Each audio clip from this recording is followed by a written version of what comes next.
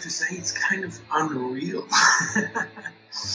I am very happy for the network who, who wanted to do this, and I'm very happy for all the people who work for this undertaker for many years now. He did a great job, and you know, doing things like that in Switzerland does not make you rich and famous, except me.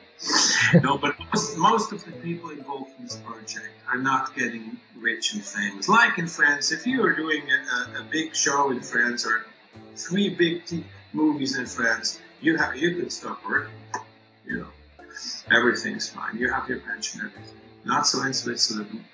Our people, our DOP, our arts department, costumes, lightnings, authors, producer, everybody, they really work for something. And I think success is if you can go on working on something.